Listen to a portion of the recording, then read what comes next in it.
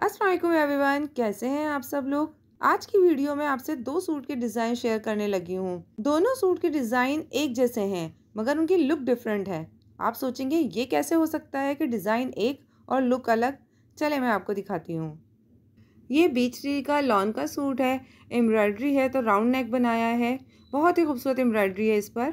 और शर्ट पर जब एम्ब्रॉयड्री हो तो नेक पर डिज़ाइनिंग नहीं की जाती। अगर डिज़ाइनिंग की जाएगी तो बहुत भारी हो जाता है, कंफर्ट ख़त्म हो जाता है। इसलिए सिर्फ़ बुकरम का इस्तेमाल करते हुए सिंपल गोल या वी नेक ही सही रहता है।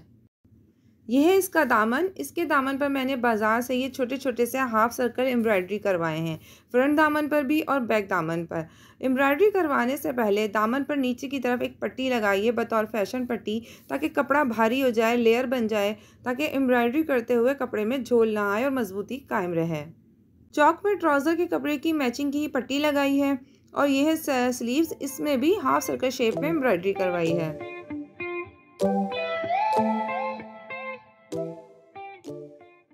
ये सफ़ायर का खतर का सूट है। एम्ब्रॉयड नेक लाइन लगवा कर राउंड नेक बनाया है। इसके दामन पर मैंने प्रेस बुकरम के छोटे छोटे हाफ़ सर्कल ड्रॉ किए प्रेस बुकरम पर।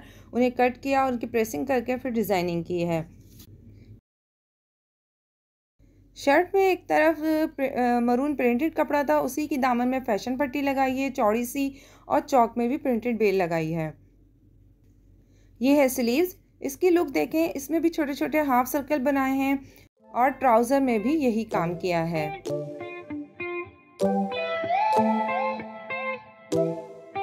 मैं स्लीव्स की पहनकर इसकी लुक दिखाती हूँ। अब मैं दोनों सूट एक साथ रखकर दिखाती हूँ। एक जैसा डिज़ाइन है, एक में घर में बुकरम से तैयार किया गया एक शर्ट में और दूसरी शर्ट में बाज़ार से एम्ब्रॉयडरी करके तैयार किया है। आपको जो लुक ज़्यादा अच्छी लगे, आप वही बनवा लें। अच्छा मुझे इजाज़त दें। आइंदा फिर किसी नई वीडियो के साथ हाजिर होंगी। अल्लाह हाफिज़। Thank you.